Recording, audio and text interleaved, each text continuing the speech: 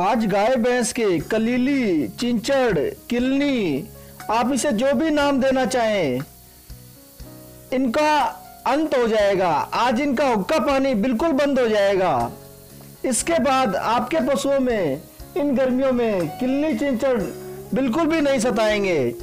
इसके लिए आपको मैं इस वीडियो में एक नुस्खा बता रहा हूँ। यह बहुत ही कामयाब फॉर्मूला है।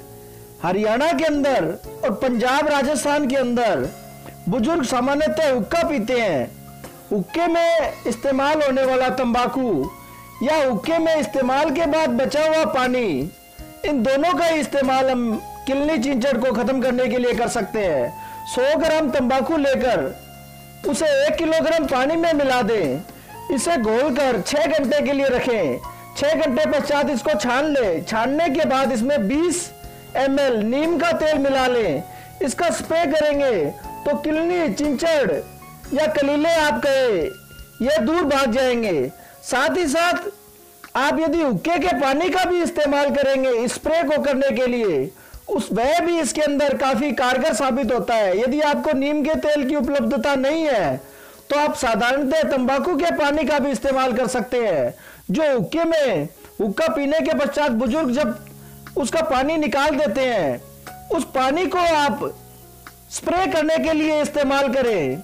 यह पशुओं में किलनी चिंचड़ और साथ ही जुए इत्यादि यदि पशुओं में है तो वह जड़ से खत्म कर देगा। इसते, इसका इस्तेमाल आप 15 दिन के गैप में रेगुलर पशुओं में कर सकते हैं। इसका कोई साइड इफ़ेक्ट नहीं है।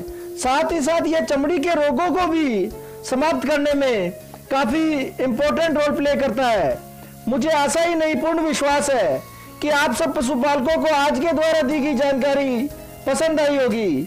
आप इस चैनल को सब्सक्राइब कर लीजिए। ऐसे ही कामयाब नुस्खे, कामयाब फॉर्मूले पशुपालन से संबंधित हम रेगुलर लेकर आते रहते हैं। इस वीडियो को लाइक कीजिए, अन्य पशुपालक मित्रों के साथ शेयर कीजिए।